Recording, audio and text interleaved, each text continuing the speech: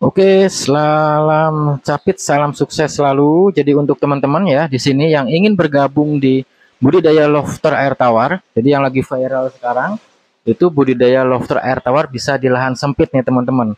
Nah, jadi seperti ini. Tuh, ini menggunakan beberapa media seperti akuarium aja sudah bisa Nah, jadi teman-teman di seluruh Indonesia, apalagi di wilayah Jawa Timur, khususnya di Surabaya, silahkan bisa berkunjung ke CV King Lofter Surabaya. Silakan kalau ingin daftar di kemitraan kita, gratis ya untuk pelatihannya.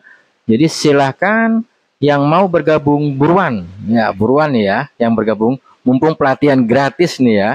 Nah, jadi nanti akan diajarin selama budaya, jadi tidak dipungut biaya lagi.